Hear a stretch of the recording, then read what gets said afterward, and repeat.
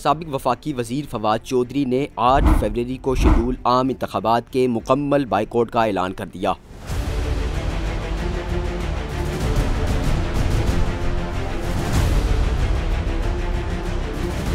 फवाद चौधरी ने election commission को लिखे गए खत में कहा कि इंतबात में चुनाव ही ना हो तो ऐसे इंतबात के क्या मायने हैं? मुझे गिरफ़्तार किया गया ताकि मैं इलेक्शन से दस्तबरदार हो जाऊँ।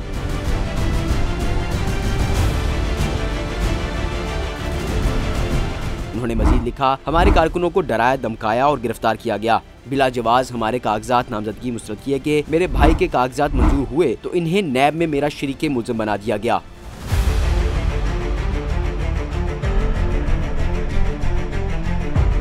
सबक वफाकी वज़ीर ने कहा की इलेक्शन कमीशन अपने फ़राइज की अंजामदही में बुरी तरह नाकाम हो गया है। इन हालात में मेरा ग्रुप इंतबात के मुकम्मल बाइकआउट का ऐलान करता है। फवाद चौधरी जिहलम में हाउसिंग प्रोजेक्ट में करप्शन इल्ज़ाम आरोप नैब की हिरासत में है।